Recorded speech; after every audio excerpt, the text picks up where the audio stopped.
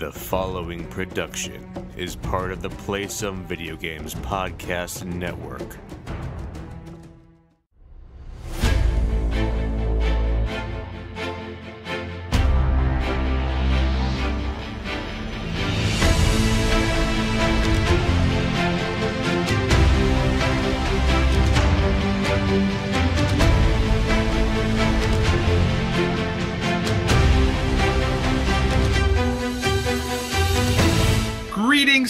And welcome to Board with Video Games, the gaming podcast that strives for the right balance of coverage for games you play on your table and on your television. You can think of us as the John Lennon and Paul McCartney of gaming podcasts. We're a proud member of the PSVG Podcast Network and a member of the Make Us Better team over on Patreon.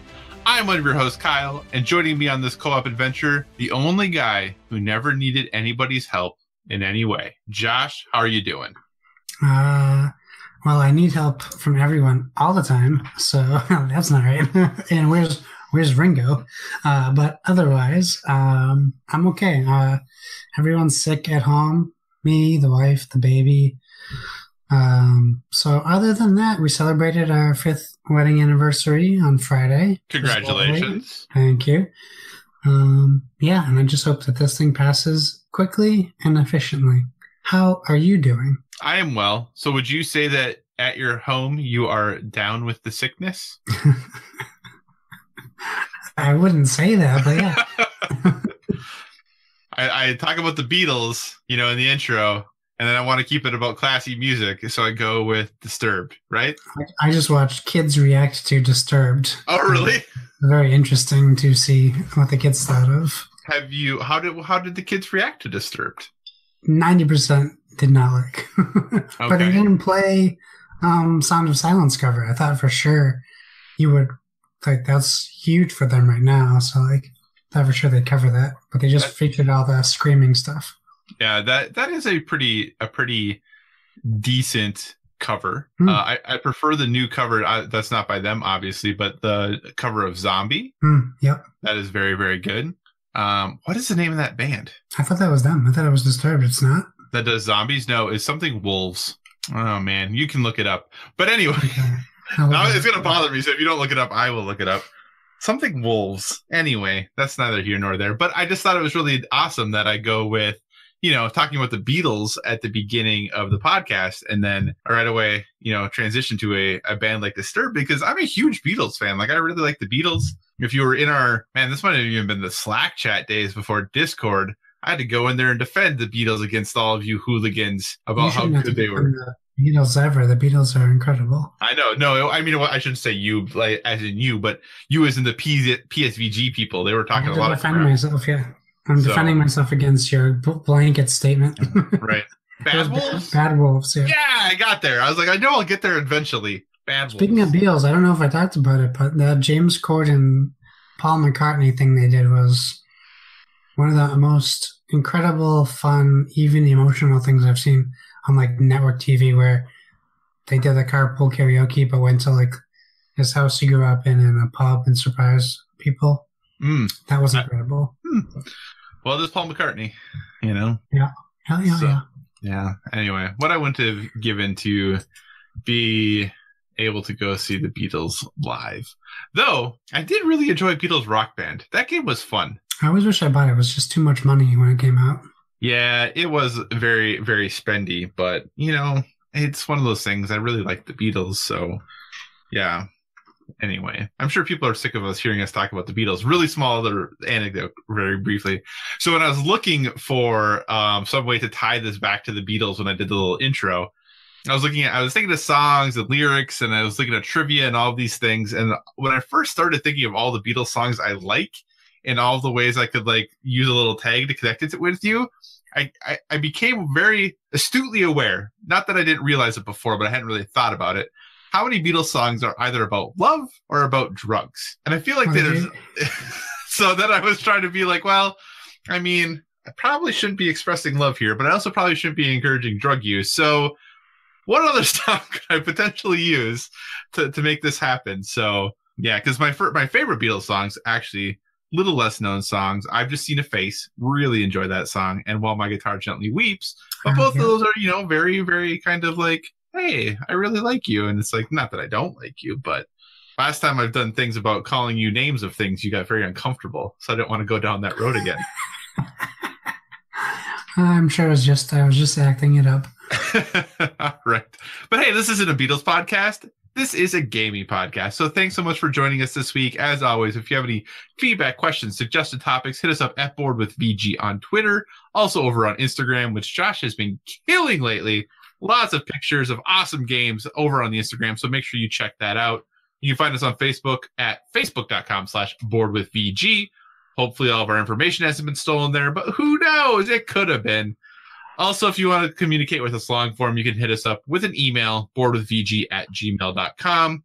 And as always, hashtag boardwithvg on all the social medias so we can keep track of all the awesome things you're talking about. If you're interested in helping make us better, check out patreon.com slash make us better. And a big thank you to all the supporters there. Thanks to the kindness of your heart, Board with Video Games will be getting its own podcast feed which should happen in the next week or so. So if you like listening to all of the PSVG proper shows, you can just maintain listening to the main PSVG feed. All of the shows will load there as they t- do right now. But if you're like, hey, you know what? Those that Nintendo Shack, that's not that good of a show. Let's just, you know, subscribe to the OT. Let's subscribe to Board with Video Games. You could just do that on your own. And I promise I won't tell Donnie about abandoning the Nintendo Shack. I promise. But hey, that's enough housekeeping. Let's jump into some news. Josh, what has been some of the hot board game news over the last two weeks? What a great question. At first, I would like to say uh, I support the Nintendo Shack, just so I get that right up in front. Don't don't cancel Nintendo Shack. I I, uh, I say that just because they have just subscribe and don't listen. That's what I do. they have a lot of listeners. That's why I say that. It makes my heart hurt a little bit. Not that it's not a great more show. listeners than us. Uh, uh, I see the numbers. oh, no. Oh, well, hey, Nintendo Shack listeners, listen to us. We talk about Nintendo every once in a while. That's why we have less listeners. we don't talk about oh, Nintendo. No. Just on positive light. Right, right. I know because you know they're doing so they're doing great work over there. They do excellent work over there for sure. It is my go-to Nintendo podcast, and that's not because I'm biased. It's the only one I would ever listen to because it's Nintendo. Uh okay here's our board game news. Uh, let's start with the winners were announced for the 2018 International Gamer Awards. Uh, we didn't cover it earlier in the year, but um, we'll go over there's two categories. The winner in the multiplayer strategy game category was Rajas of the Ganges, designed by Markus and Inka Brand, and published by Hutch there's an exclamation mark in there. I hope I did that justice. Uh, the winner of the two player general strategy game was Codenames Duet, designed by Vlad Chvátil and Scott Eaton. I am published by Czech Games Edition or CGE if you're nasty. I do not believe we talked about these nominations when they happened in August, uh, which I prefaced at the beginning. Um, but if you look at the list of nominees, Kyle, does this surprise you? And would you like me to go over the nominees first? First of all, Vlada Chvátil. Come on now. He's a preeminent board game designer, and I understand his name is complicated, but as a Vlada Chvátil. I looked at all the stuff you had to talk about, and you gave me the hard one. that might have been on purpose, but I'm uh-huh. just saying Vlada Chvátil. Okay. But yes, let's go over the nominees because I think it is interesting Vlada if you go over the nominees and then look at who won. I think it's interesting. I do too, actually. So let me go over the nominees and you tell me, well, if it surprises you. So if we cover general strategy games in the multiplayer category, the nominees were Agra, uh, Altiplano, Azul, Clans of Caledonia, Decrypto, Gaia Project, Gentis, or is it or Gentis? I, I think it's Gentis, but I don't know for certain. Gentis, uh, Heaven and Ale, Nusfjord, Pulsar 2849, Rajas of the Ganges, Santa Maria, and Transatlantic. So, well, I'll tell you, I'm shocked. um, only because I've seen uh, Rajas of the Ganges before, but I've never really heard positive or negative about it. But all those other, almost all those other games in there are very well known, very highly regarded games. Um, so I was very surprised to see them pull it out. So, I mean, it's good for them because it's now going to be on the list of people who want to play these award winning games of 2018.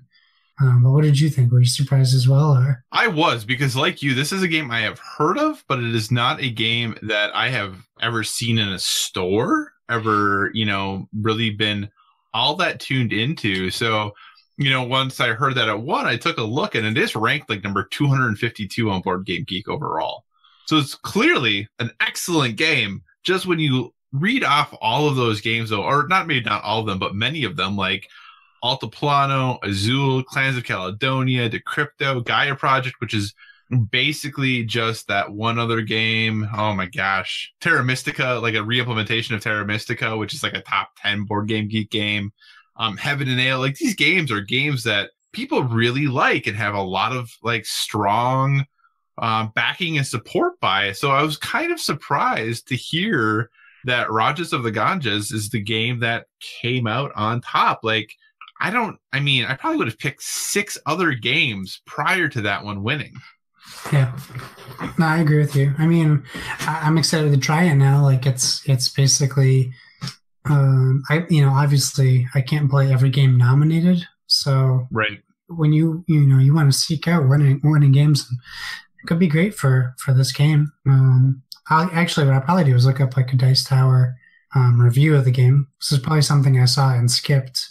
Um, they might not have them, but usually I, like they're pretty good at putting out stuff for all the games that come their way. Right. I do believe it got the seal of approval from the Dice Tower. Uh, well, that's big because so. they don't give that out too often. Right. So, uh, all right. Go, yeah, good.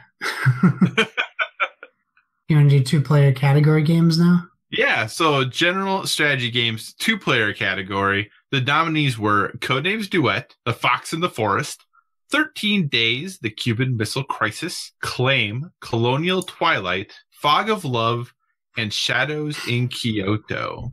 So a number, again, not quite as many games, but a number of high profile games there. But I think in this situation, Codenames Duet is one of those high profile games. Um, surprising to you when you look at that or hear that list that uh, Codenames Duet was the winner? I wouldn't say surprising. It's definitely in like of the games I would consider winning, like Fox in the Forest. Um, for me, like as as high up there in my favorites.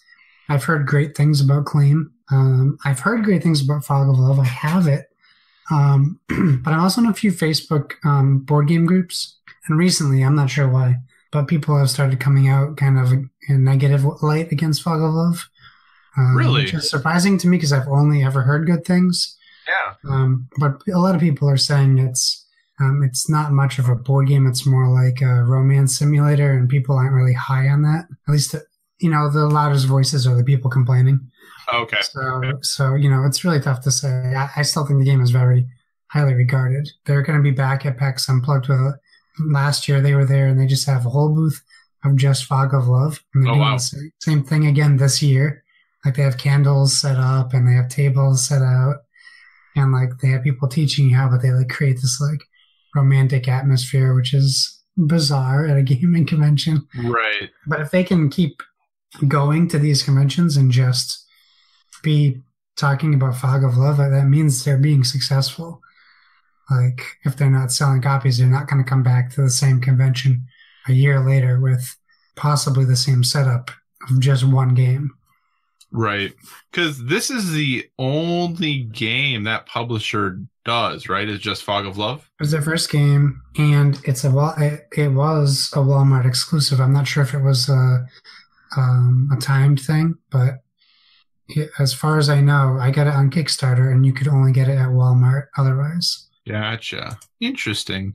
I do remember that, and it looks like, yeah, when I just look up really quickly on Amazon, definitely cannot buy it. You can I still vet- want to play it and talk about it on the podcast. Um, it's just a matter of time where like we're feeling ready to sit down and like it's definitely looks like it's going to be a little bit heavier than what we typically sit down with at eight o'clock on a Saturday night. Right. Actually, take that back. You can buy Fog of Love right now on Amazon from one seller for $194. Nice. So if you really want it, I mean, plus plus seven dollars and forty nine cents shipping. So if you have an extra two hundred dollars, uh, you can buy Fog of Love right now on Amazon. So there you go. shipping cost. It's a heavy box, so they're they're actually paying on that end.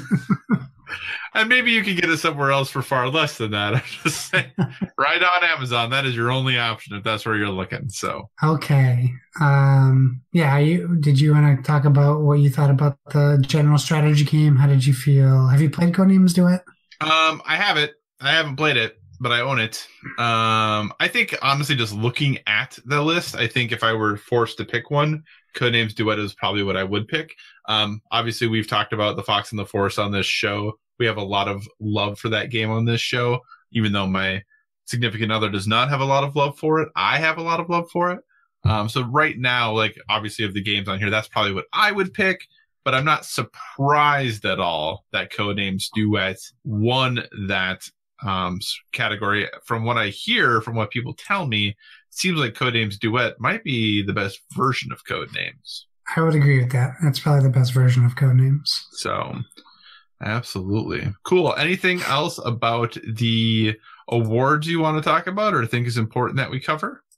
I don't think so. We Awesome. can move right on to the next topic if you want. Yeah, why don't you talk more about a failed Kickstarter that's probably coming back as another Kickstarter? Let's do it. It's you know this is one that um, I dodged a bullet on. this project is near and dear to my heart uh, as far as the IP goes.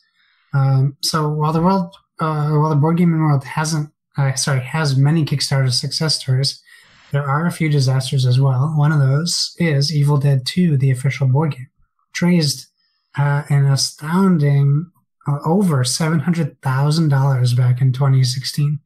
Uh, and in May 2018, Space Goat Productions, uh, the Kickstarter sponsor, officially announced the game would not be coming out. is now looking like Jasco Games, who I need to look up what they make. I have their link open. Uh, might be resurrecting the game and, unsurprisingly, bringing it back to Kickstarter. Uh, on the plus side, for every game backed, they plan to provide one to a backer of the previous Kickstarter. So it's like Leesa Mattresses. You buy a mattress, they donate a mattress. It's great. Not a sponsor. Right? Did I freeze? Did you freeze? you froze. And I purposely didn't talk because then the when I edit it just cuts it out automatically. Okay. I was talking just in case it was important to talk. Nope. So I don't know when, where- when you talked about when you talked about Leesa mattresses, that's when it cut out. Oh, perfect. I said not a sponsor. so hopefully that got in there. Uh, and so this brings up, uh, this obviously brings up a lot of other questions. Um, but at least they're trying to help, right, Kyle? I mean, it is nice that they're trying to help. That's that's a good thing. Um, Jasco has done a lot of um branded, I should, say, I, I a lot of board games in relation to IPs. Oh, Um, I see. Right. Yeah. Yeah, so they've done a lot of a lot of that kind of stuff. Um, so that's kind of where their um, specialties lie, if you would. So basically, what the setup seems to be is that this game is going to go back to Kickstarter, and if they reach their funding goal for every individual who backs the Kickstarter, one game will be sent to someone who backed the original Kickstarter. But my que- I have a lot of questions about this. Like, I appreciate the effort they're putting into this. I think this is good. But is the funding goal the same level as the original? As in, like, they're trying to get to the same, like, $700,000 level or the same number of backers? Because what if they reach the funding goal, but only get to the half number, half the number of backers? Do, like, half the original backers just not get a game then? Well, there's even there's even a crazier part to this story is they don't have the license to do the exact same game that was originally kickstarted. They have some components from the first game, so they have to like try to be their own company and make a game they're proud of. Because what Right. if Space Goat wasn't making a quality game also, which it doesn't sound like they were. Right. It sounds like they were taking seven hundred thousand dollars and running. Well, Uh, I think the company, like, went out of business, went out of Yeah. business. So. Well, yeah, who knows if they were going on like vacations or if they were like the bank companies before the buyouts. Like they're like, hey, we just went to Jamaica for a month before we started making Evil Dead 2, the board game. I'm gonna I'm gonna hope I'm gonna assume they were trying very hard to make it work. I hope so. didn't work out. I hope so. Um, it it also leads me to another like one of the reasons, not the main reason, that I stopped backing the um, Horizon Zero Dawn game was because of Steamworks Games reputations for not following through with the projects or having them be severely delayed by years. So Right. everyone in the comment section for Horizon Zero Dawn are like, "This is this is great, but I'm still waiting for what you promised me two years ago." And and they said, "Well, we don't even have the rights to this game yet either, but we'll get them before the game comes out." So it, it this enters the wishy-washy world of Kickstarter where people are able to post projects um, that aren't even even necessarily truthful in what they're stating as I we don't like they're they're they're being truthful because they're saying it but when you look at a Kickstarter that's like the Horizon Zero Dawn it should say pending rights right on the front not on like Right. the fifth paragraph of the last chapter I think that game is pretty safe, uh, considering the PlayStation blog like had it Right, on right. the official the official PlayStation blog did a, like a little like new in stores and it talked about how or new in their store or their gear store and it plugged the Kickstarter for the game. So I feel like that one will probably be okay. But you are right, it is interesting when their answer like in you know there's the um, Hunger Games game yes that is on Kickstarter right now. And like one of the first questions is, and it's interesting how they answer it, and you might want to look it up while I'm talking about it, but they say something to the effect of that they have been working hand in hand and they have been given permission to print the game. They never actually say they have the rights to it. They never say like, oh yes, we've paid for or have acquired the rights to publish this game. Is something where they without saying they have the rights, they're like, well, we've been talking to them and they said it was okay. So that's interesting yeah, and like I said, if you're looking it up, I don't know, but I, I feel like when I read it, I was like, okay, maybe they are going to, maybe there's some agreement that if the funding happens, then they'll purchase the rights. So that's kind of where the, oh yeah, it's fine if the funding happens, then we actually pay for it, but we haven't paid for anything yet. Yeah, I, I, the first comment that at least is in the comments is not. There's no like questions popping up here, but um, they also did the Pacific Rim game. Right. So And you back the Pacific Rim game, right? I did, I was backing it, but I, I because they did that all in pledge for like five hundred dollars or whatever. I couldn't. It was another game where I would I would rather have all of it than none like than none of, than just half of it. So I just couldn't afford to it. But I did find the question. It's um. so they asked, "How did you manage to obtain the rights for Hunger Games?" Uh, but I haven't see an answer from them. Um, no worries about licensing rights. Everything is fully licensed with Lionsgate, and on top of that, the game is fully approved. That's what the creator said. Oh, okay. Yeah, it does say this project is officially licensed by Lionsgate, who released the Hunger Games movies based on works of Susan Collins, who worked side by side with Lionsgate for a long time to produce this game and it has been approved by both Lionsgate and Susan Collins agents for us to release. But like, so this guy, Michael, uh, last name omitted. This was his question, and it's a good question. So he says, "How did you manage to obtain the rights for Hunger Games?" I don't recall seeing any announcement about this. After the Doctor Horrible situation, I'm concerned this is a repeat. Additionally, the complete lack of reviews from anyone makes me pretty wary.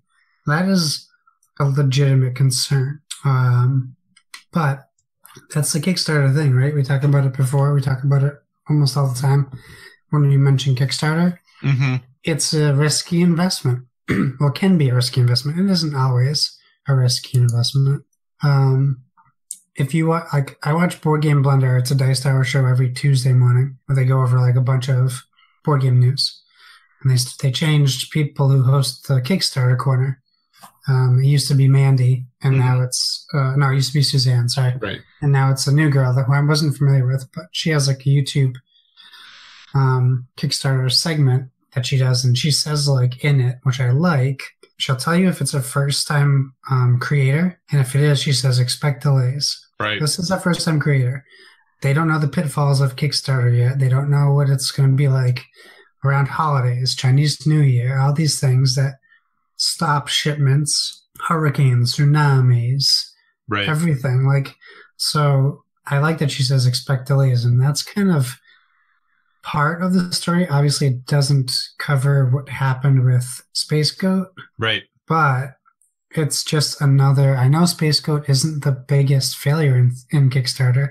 Not I'm at all. trying to remember that video game that was like a colossal failure with like a million dollars or something like that or more. Um, but I mean, it's it's it stinks for me because Evil Dead Two is such a, an awesome property, and I'm such a big fan of it. And we don't have a lot of horror games out there. There's a handful. Right. But I think the more you get into the hobby, the more people you're introducing, and this obviously is going to turn people off.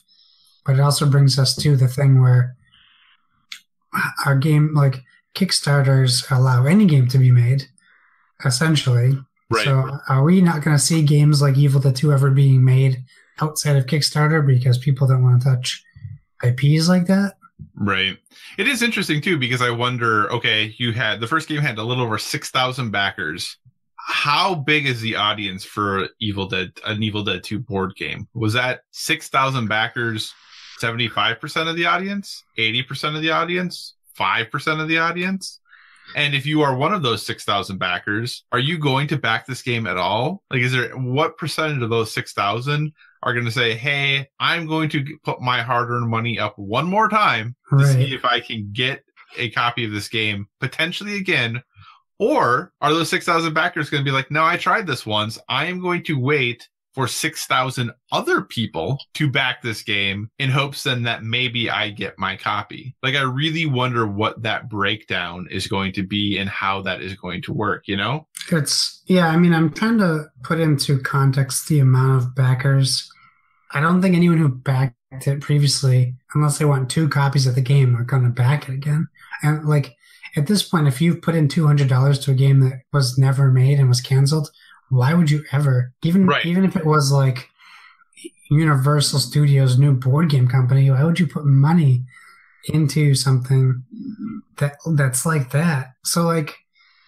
I'm trying to find a game that I've backed that has like A lot of backers, a lot of backers. The Fireball Hunger, Island. Hunger Games game, it's fully backed, 293 backers. They need 6,000. And if each copy is supplying another game to another person, how much? Yeah, you're right with your question earlier. Like, how much are they going to ask for this game? Because they can't take this money and go in the red. Like, they pick up an IP and go in the red on a board game. Right. Now, as an example, you know, and actually, speaking of games that have been featured on the Dice Tower recently, this was played today on the Dice Tower. Uh, Fireball Island Hmm. has 23,000 backers. That's a lot of backers. So is Fireball Island more or less popular than The Evil Dead 2? Uh, they both have nostalgia. I don't. I, I'd probably guess Fireball Island's more famous in the board gaming industry, at least. right. So, yeah, I mean, I think that, and that, you know, the, I think the, man, it's kind of embarrassing. I think I paid 130 bucks for Fireball Island because I got it with the expansion. So I think it was like 130 bucks or something like that. I need to come to your on- house to play it. What's that? I need to come to your house so I can play it. It's currently on a boat. Uh, that is one of my favorite things as a very quick aside. When the Kickstarter companies, when they send you like, here's the boat that's going to the United States with the games, and you can like track the boat.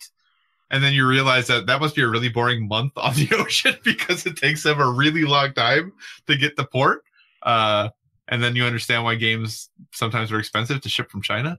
So, yeah. But so do you think if you had to predict or guess, do you think that this Evil 2 Evil Dead 2, the official board game, when this is revived and comes back to Kickstarter, Hmm. do you predict this game will get funded? I liked. I uh, I like to think that like out of the goodness of the internet and board game people that it will. But then again, I I thought that um can't remember the name of the company now, which is telling. Uh, the game, the board game company that I helped try to save by buying Backyard Treehouse Builder, and that they didn't need that much money, and I thought I helped save them, and the internet kind of came to help, but Is not that really. Crash Games? It might have, uh, maybe was it Crash Games? I think it might have been Crash Games. Um, but the internet did not come to help them save a whole studio, so maybe it won't come back to save one game. Uh, but if it's if Evil Dead 2 the board game is affordable, I would consider backing it, knowing that someone else would be getting a game when I backed mine. That's a nice little bonus. It's definitely a situation where I would be more likely to back this game knowing that it is going to help someone else Right. However, I don't know if this is a like I like the Evil Dead. Like I think it's I maybe like it less than other people. I think it's fine. but I don't. I'd be very nervous, basically looking at the other properties and the other games that this company has made. If this is a game I would be excited about, because it's a property that I'm wishy washy on, Right. and if I love the IP, maybe I'm more okay with a game that I'm not as stoked about. But if I am fine with the IP and the game is fine, I'm probably a lot less likely to want to back it. You know what I'm saying? yeah, there's no reason to back a game that you're not going to want to play. Right. You don't have interest in. So, Even if it helps other people out. We're not all rich. If I was rich, sure, I'd buy 6,000 copies of the game. right, exactly. Then it'd be totally fine. So, um, yeah, it was Crash Games. Okay. They are now Rest in defunct. peace. Yeah, they are now defunct. Cool. All right. But hey, so let's move on. Okay. yeah, And I was gonna say it has it, it has been a very and I know every year is busy when it comes to Kickstarters, but I feel like it's been a really busy Kickstarter fall. yeah, it really has. So We might get more coming. I know, right? Mm. Um, and people are probably wondering if you're big into board games. We haven't really talked about Essen at all. And uh, we'll be talking about Essen next week. So similar to our Gen Con sh- preview show that we did, um, next week we will be talking about Essen Spiel um, and the games that we are looking forward to that are going to be there, the games that we think you should check out if you live in Germany or are going to Germany and, and want to check out all the things there. Um, when I last looked earlier today, the board, the geek list on Board Game Geek with all the games that were going to be at Essen Spiel was over a thousand games at this point. So there's a lot of stuff for us to sift through and go through to make sure we get a very comprehensive, clear look at all the games that we're we're very interested in. So be on the lookout for that next week as Josh and I just read Board Game Geek for the next week. But while I'm not reading Board Game Geek, you know what I'm going to be doing, Josh?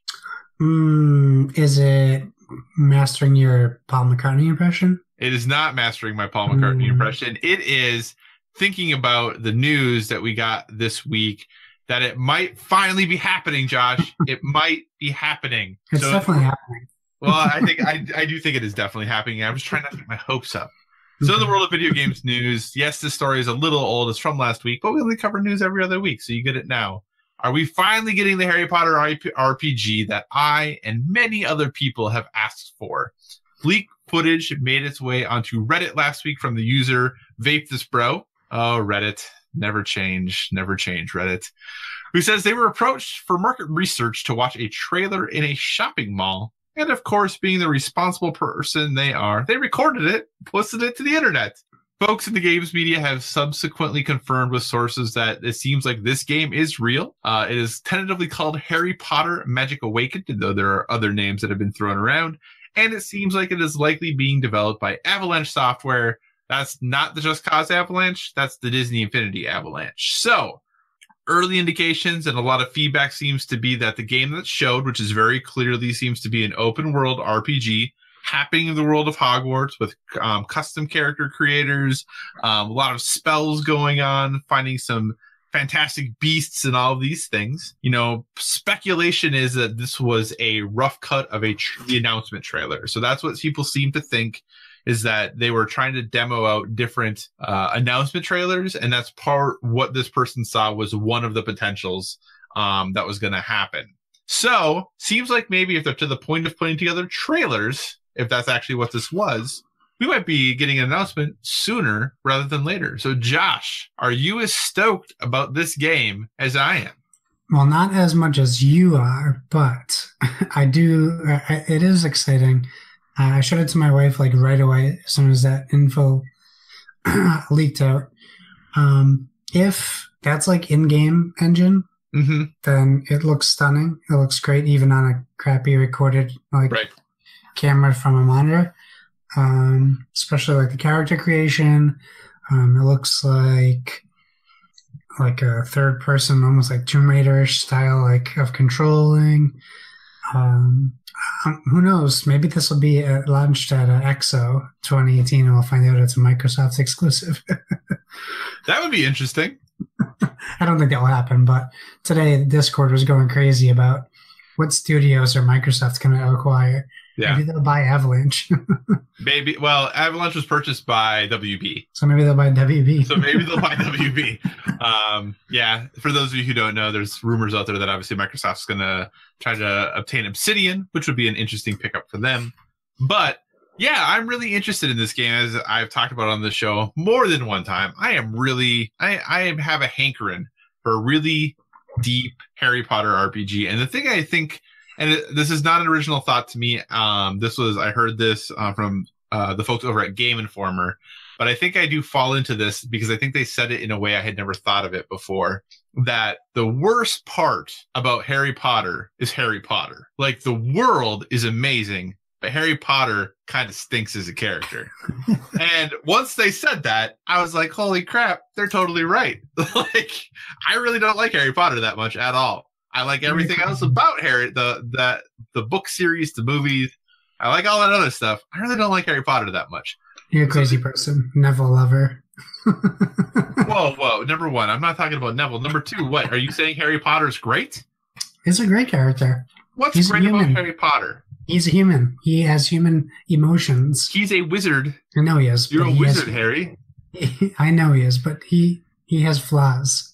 And yes, while he got people in trouble a lot, he was always trying to do the right thing, and he was an orphan boy who missed his parents. It's not his fault. It's the people who raised him. That's their fault. Okay. He lived that- under us. He lived under stairs for his whole life. Give the kid a break. Well, that doesn't. That- That's how she created to create the character. That's doesn't make him a good I'm character. Defending Harry Potter. I, you, and you're welcome to defend Harry Potter. I just think there are far better characters in that universe than Harry Potter. Harry Okay, Potter's yeah. one of the least cool characters in that whole universe. So, Makes but anyway, I mean, he's still better than Ron. So we'll we'll go with that. Okay. You think Ron's better than Harry Potter? No, clearly I don't, but you make Ron sound like rubbish. Ron is rubbish. What does Ron Ron- ever do? Ron lands Hermione. He's better than us all. Which which J.K. Rowling has said was a mistake that she shouldn't have done that. Yeah, okay, so even well, she knows how wrong that is. But outside of that, what does Ron ever do that's mm, worthwhile? listen, this isn't a Harry Potter podcast. It's because you don't want to answer my question because you know there's no good answer because Ron's worthless. She Anyway, she cast Johnny Depp in Fantastic Beasts and it's not holding back. She doesn't know what she's talking about anymore. anyway.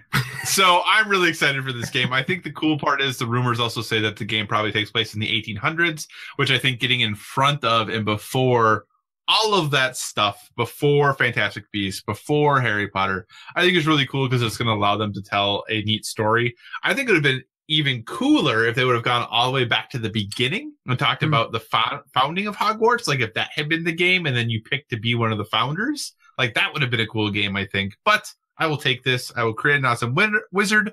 I will go to the proper house for me, which is Hufflepuff, because Huh. Hufflepuff is the best. I know, right? I'm the worst. Anyway, I'm really excited about this game. Hufflepuff t-shirt. I'm just giving you credit. Okay. I'm really excited about this game. I can't wait to hear more about it.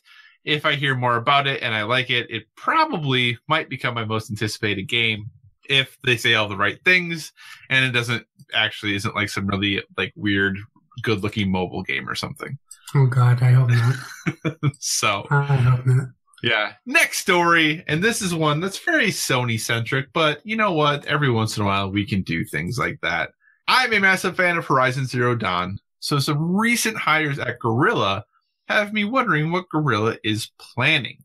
The folks over at Push Square have reported that Simon LaRoche has returned to Guerrilla. He was there for Killzone 2 as a game director, but he most recent, or excuse me, he was hired as a game director, but most recently he worked as the game director over at Ubisoft on Rainbow Six Siege. And they have also brought on Chris Lee as a principal game designer who also worked on Rainbow Six Siege. So, Josh, I know your love for Horizon Zero Dawn also runs very deep. hmm Does this mean Horizon Zero Dawn 2 is going to have multiplayer? Is it going to have battle royale? Is it going to have tactical breaching combat where you have to save um, or defuse a bomb? Is Killzone coming back? Are they making some other game completely? What's happening? I, I'm pretty sure that they have already been working on Horizon Zero Dawn, the sequel. So I don't think this is for Horizon Zero Dawn. Uh, you you might not be uh, crazy um, with your battle royale guess though, because who knows what we're gonna get with the next Killzone. Uh, but yeah, I think it's going to be a new Killzone uh, just because of who they're bringing on. And it seems like mesh well together. I really would trust anyone who worked on Rainbow Six Siege just because you see how they can create um, what I would call like Overwatch levels of replayability, Mm-hmm. where it's a game that I think that everyone is going to be trying to do games like Ghost Recon Wildlands, Rainbow Six Siege, Overwatch now. Overwatch just sells sixty dollars if you don't get Yeah. it on a sale week. That says, and so and so is Siege, uh, and I think so is Wildlands now that they're in season two. So I think it's just great to see Guerrilla doing another game. Like we know Guerrilla's IPs. Maybe it's a brand new one. Maybe it's not even Killzone. But So Sony announced today on Tuesday that they are acknowledging that they are working on the next generation console for PlayStation. So I wonder if it could even be a game that's five years out. Well, and it's interesting too because I think we'll kind of tie this in. This isn't specifically the thing. Because did you see the other Call of Duty news that had people speculating? Yeah, I was chatting about it today. Yeah, so basically, there's a job listing for whoever's next. Sledgehammer, I can't remember who's next in the Call of Duty rotation, uh, but whatever studio theoretically would be publishing their game next year was hiring for a game that they didn't na- name the game, obviously, but they said it was for next generation consoles, which then Mhm. led the speculation to okay, Sony confirms they're working on the next a new console. They didn't technically say it a PlayStation Five, but a new console, or that a new generation is inevitable you know, and then there's this job listing. Is PS5 coming out in 2019? No. No. no, I just like the the no, no, No, but, but they probably have dev kits out. They they might have dev kits out by 2019. right. So Well, and it would- will need the people for that. And it would surprise me even if maybe Naughty Dog has something early now because they do a lot of their development with them down there. So it's very possible that even Naughty Dog would have one already. Well, I mean, you're Sony, right? Microsoft's kind of coming back. They're not being competitive sales numbers wise, but they're kind of showing signs of putting up a fight. So if you're Sony, what do you want to launch your new console with? Every one of your exclusive titles, Spider-Man 2, um, another Uncharted, Killzone, and Horizon Zero Dawn, like Last of Us 2, whatever, like whatever they can push out, they need to crush that lineup. And I think that if you can start doing that now, why not? Yeah. So you, what you're saying is you think that Horizon Zero Dawn 2 will not have multiplayer. It's going to be another single player RPG like the first, and that these two are working on Killzone or something completely different from Horizon. Yes, that's what I am uh, hoping. I hope that they don't put multiplayer in Horizon Zero Dawn 2 unless it's unless it's a cooperative multiplayer, not like story based. Not no, I don't need um like Uncharted multiplayer. Like I don't need to be doing team deathmatch in Horizon Zero Dawn. Did you play the Horizon, the Uncharted multiplayer ever? I yeah, It's kind of fun, actually. I mean, it's not Uh, great, but it's not. It's better than I thought it would be. it was. I wasn't a big fan of it, uh, but I I had no expectations, so Oh, okay. I just didn't enjoy it. What if they did, you know, pulling off or thinking about this Rainbow Six Siege thing? What if they do Hmm.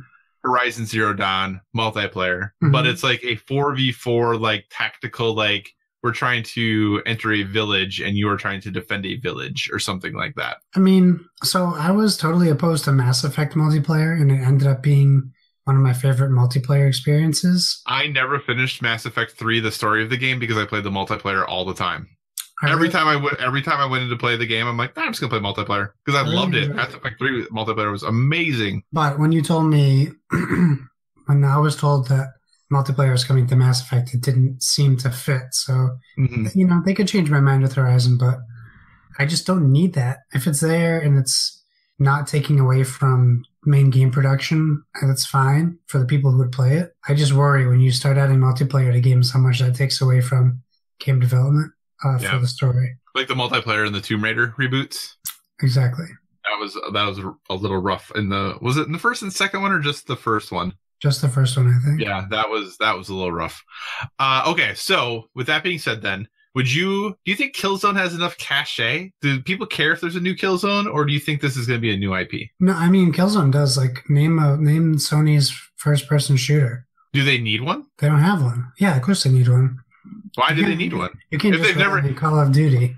What's that? You can't just rely on Call of Duty. They need to be competitive too. Just because they're winning doesn't mean they should just kind of chill out, complacent. Right, but I'm just saying, it does it make sense for them to make another Killzone, or if they're going to make a first-person shooter, should it be not tied to Killzone? Like they had Oh. Killzone, they had Resistance, they like neither of those. I mean, maybe they sold okay, but neither of them seem to have like the exact pull that place that, that Sony was hoping for. Sure. So does it make sense to make a new Killzone, or does it make sense to make something completely different, a new I mean- IP that is a shooter? New IPs are always good, and if it's a shooter, yeah, that's a bonus with the the people you have developing the game. Mm-hmm.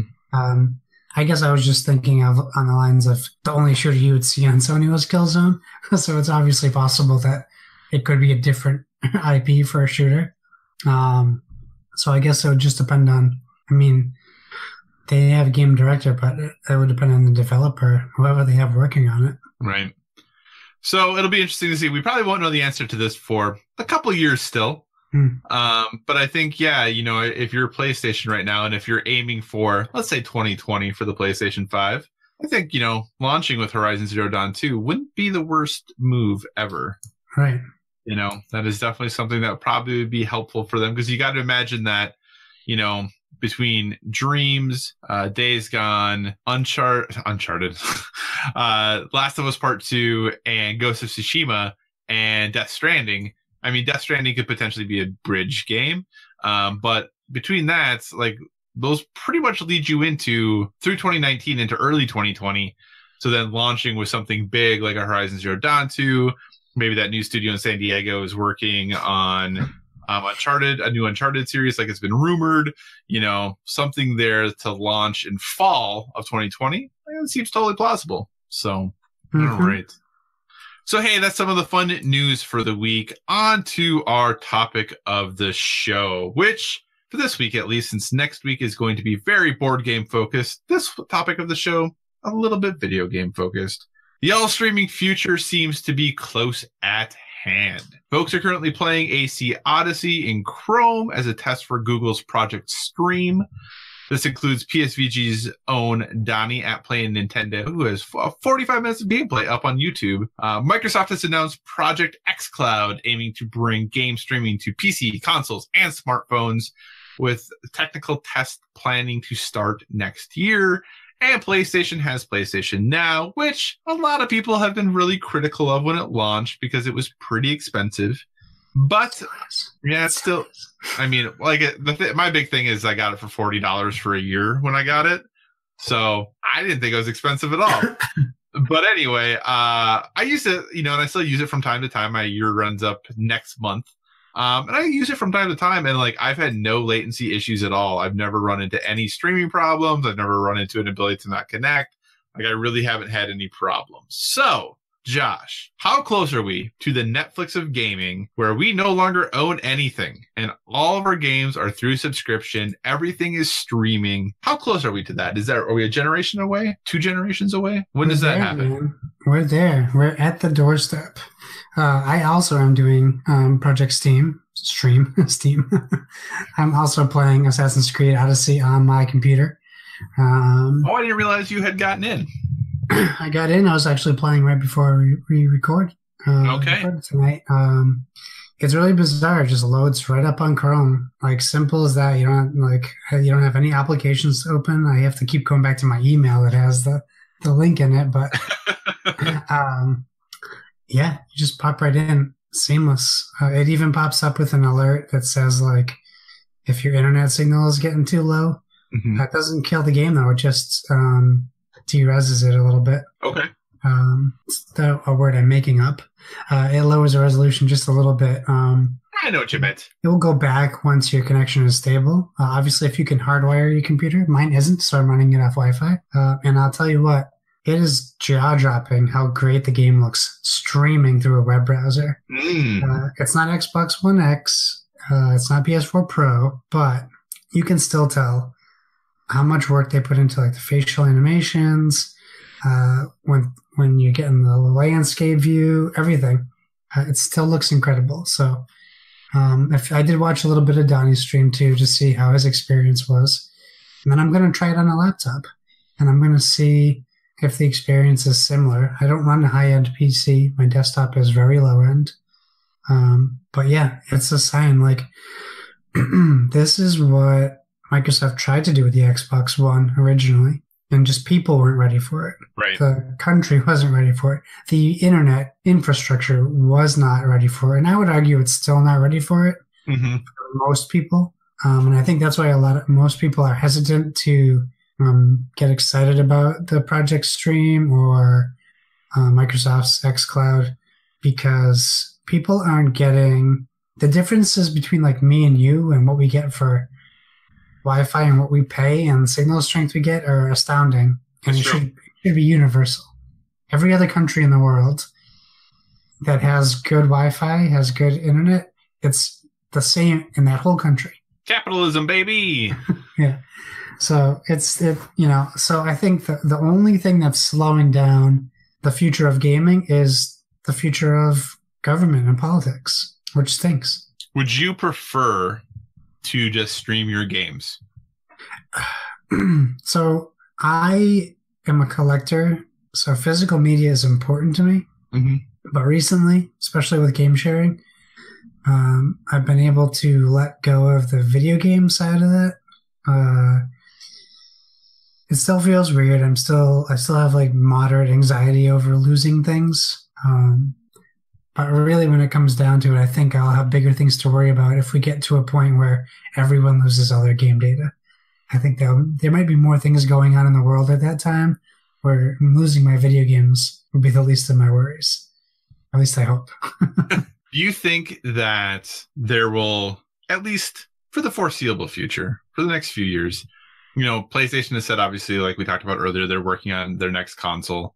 Obviously, Microsoft has said they're working on their next console. Do you think that's the last, like, true generation of consoles we get? And after that, it just moves to a streaming stick or a small box with no drive, or maybe just your television, depending on where we're at when we get to those points is is this upcoming console generation the last true console generation we're going to have You know, uh, I'm curious. Like my Fire TV has a gaming channel, and you can like get a Fire con- TV controller, like a Mhm. gamepad.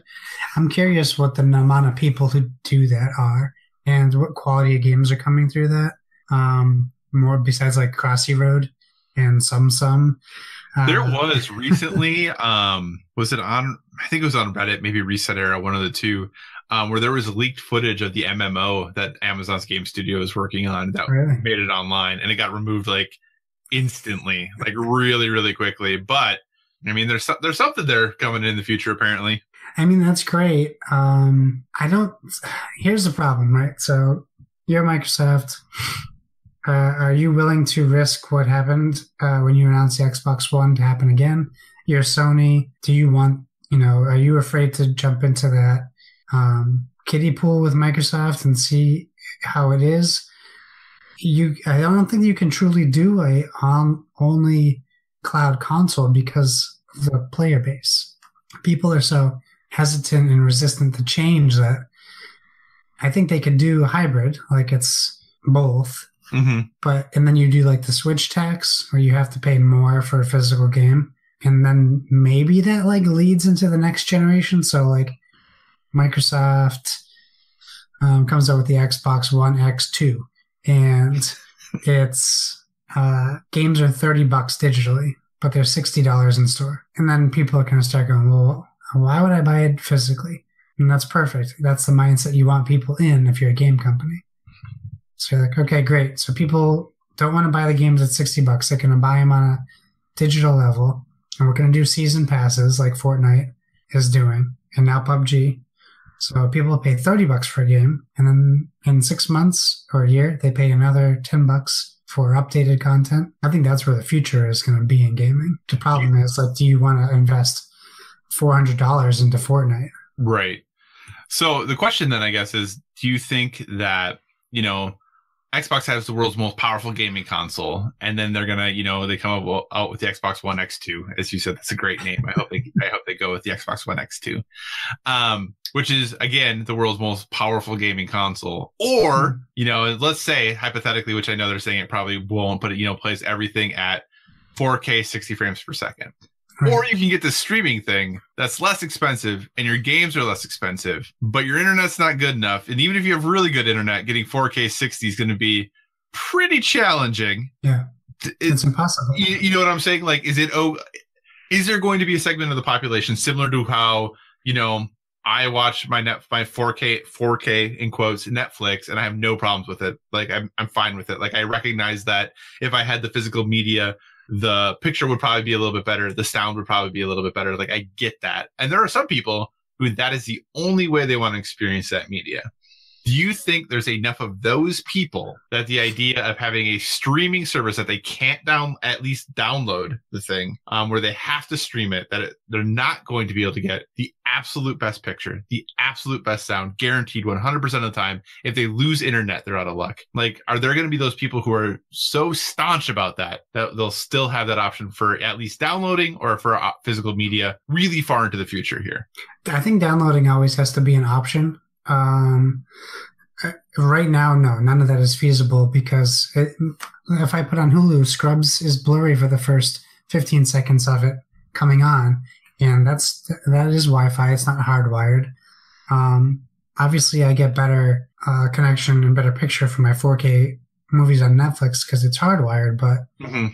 people also don't even, depending on where your cable company puts your modem, some people can't even hardwire to their consoles.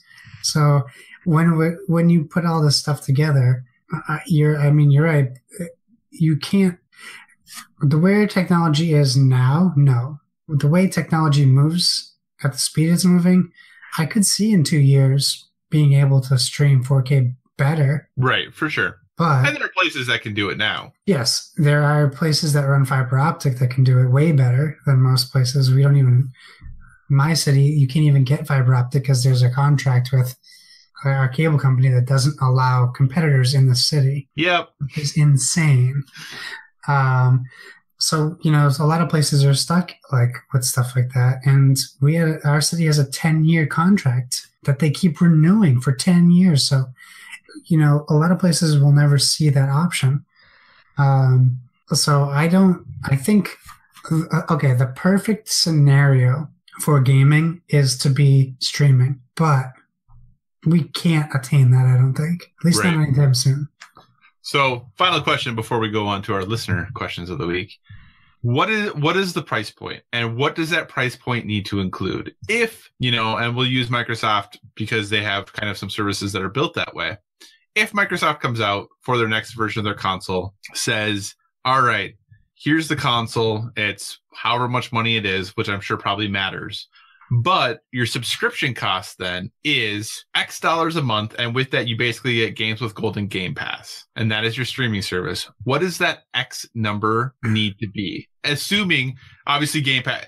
Game Pass could grow, it could shrink, it could do a ton of different things that would affect that. But if it stayed the service that it currently is with the hundred ish games, all first party games, all that good stuff, like what is that price for you that you say, yes, I would do this, no questions asked? So you're talking about for the console and the service, or just the service? just monthly service of like, yep, here's what I'm going to play, knowing that like, hey, I, you know, depending on how they create the box, depending on what memory is, you may or may not be able to download games. You may or may not be able to buy games. Like if it mm-hmm. was just purely a streaming box and you got Game Pass and you got Xbox Live Gold because you need that obviously to play multiplayer.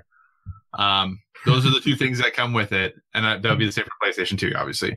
Yeah. Um, how much are you willing to pay a month, knowing that all you're gonna ever be able to do is stream games on it? What would you be able to? What would you pay? So like immediately, I was thinking of like the Amazon Prime model, like Mhm. hundred bucks a year isn't. Okay.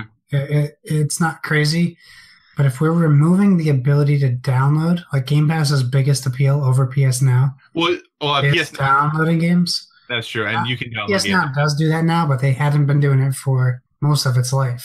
right? But you can now, you can now, right? um, which makes PS Now more appealing to people, I would think, except for the price, unless we get it at your price.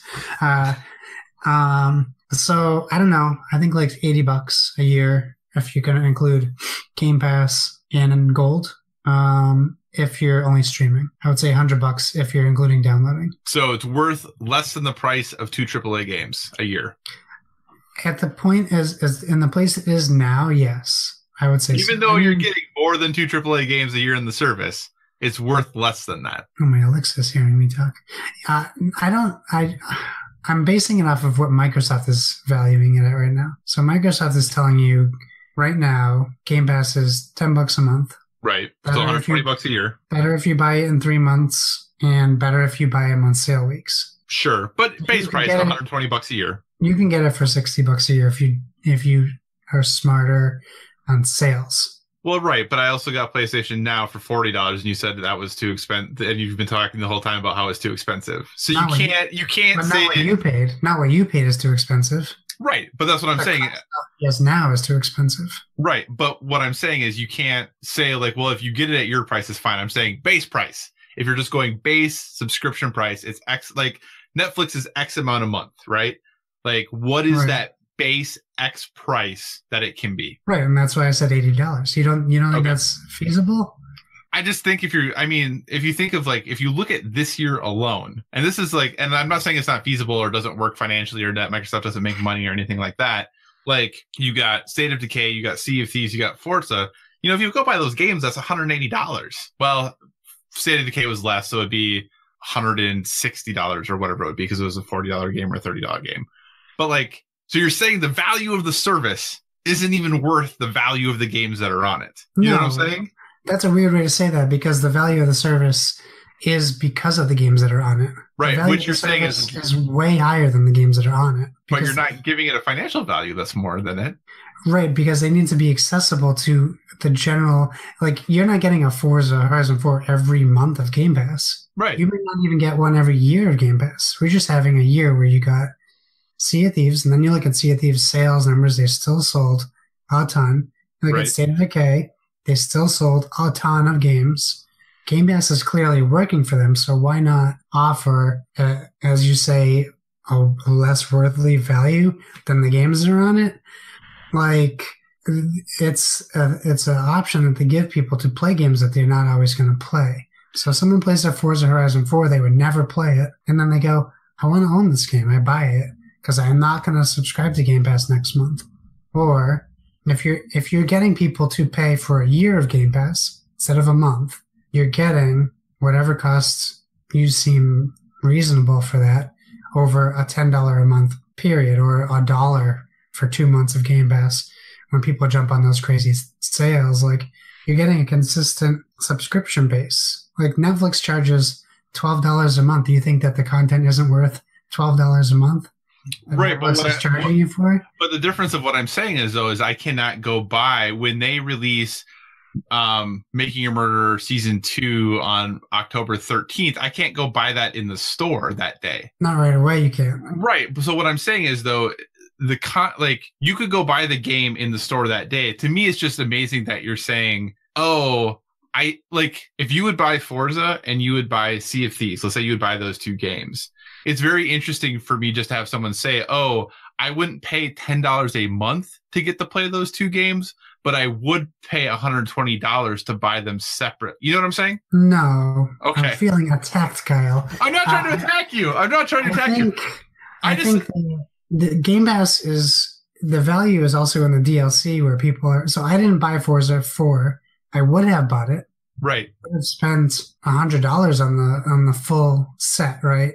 Right. Now I have a game that I'm getting in Game Pass, but I'm going to buy DLC for. Right. That they're getting that money for from no content. I'm just buying DLC from a game I don't own. So they're not even. Oh, that's pure profit for them just because I have Game Pass. Well, I mean, it's like it's funny how you look at the, you know they had to produce the DLC Well, for you to purchase. you know what I mean, like, right. they, I- but you don't know what they what they did for the DLC could have been part of the game that they published in general, like a Yeah. lot of games do.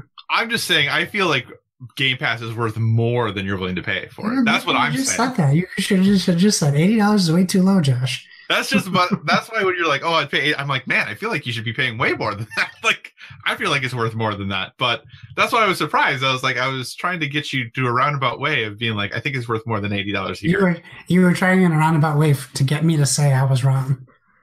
Well, you just did, so we're we're all set. You could have just said, Josh, I think you're wrong. What would you really pay? so yeah. Anyway, hey, that's our thoughts on the streaming future. Let us know. Hit us up at Board with VG on Twitter.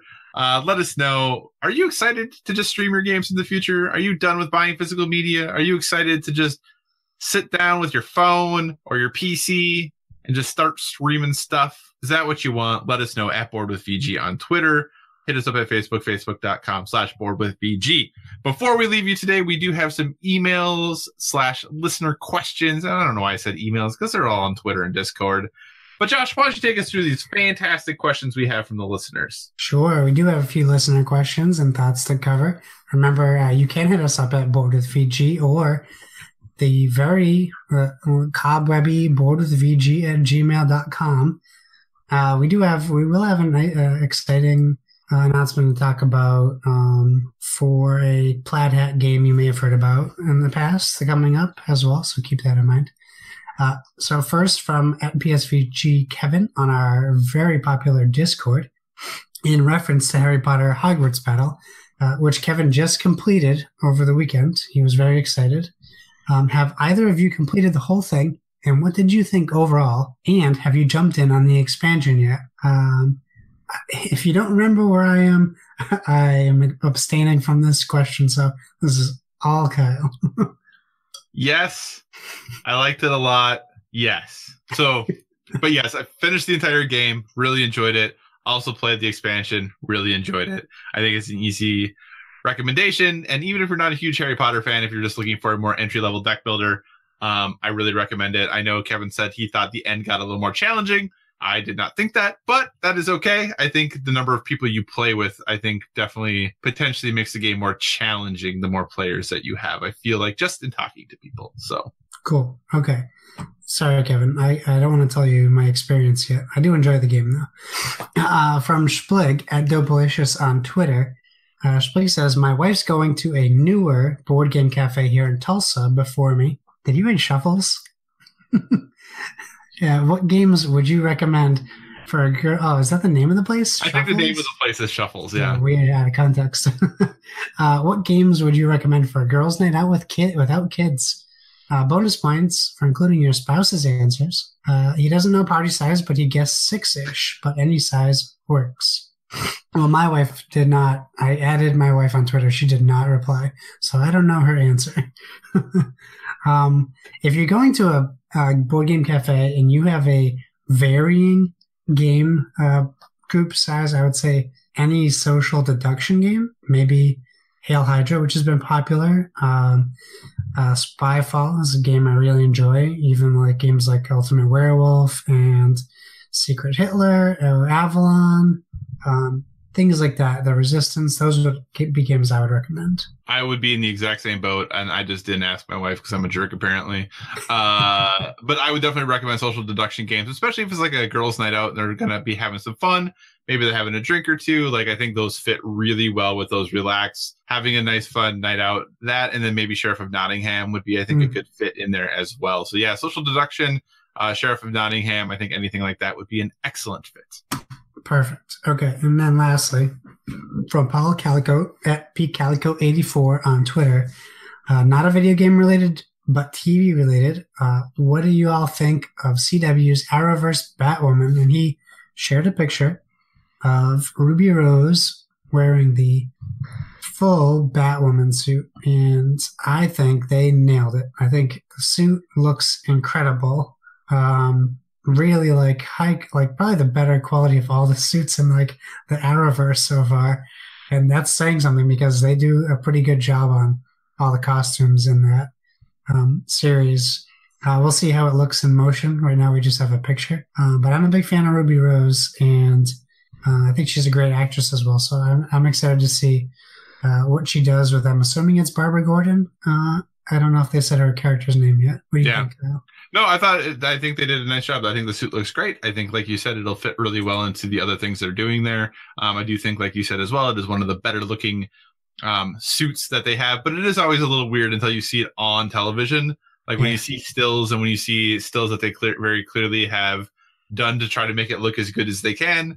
Um, and I think maybe some of that happened because there were some pictures of um, the Flash's suit for this season that people got really bent out of shape about that were taken like very like casually, like not like people not understanding that photos were being taken and people are pretty upset about it. So, um, yeah, I think it looks great. I'm excited to see how that goes and, and what they do with it. So awesome. Hey, thanks for the questions. We always appreciate them. And you can ask us questions about anything games, the CW Arrowverse, whatever you want. We're happy to answer them. And as we wrap up the show, we are going to move on to our well-rounded life. So as you know, you all know, this is clearly a gaming podcast.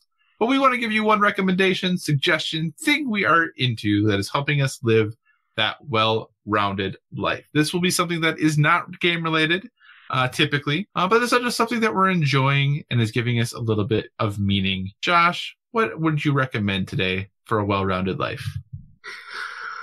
Another great question um, that we have every week now that I should be prepared for. Do you want me to go first so you can think? No, I mean, uh, when I, I just try to think of like it's it's tough to always give like advice out and like and things of that nature. That's why I usually just talk about things I like that I like to watch on television or books I like to read or things like that.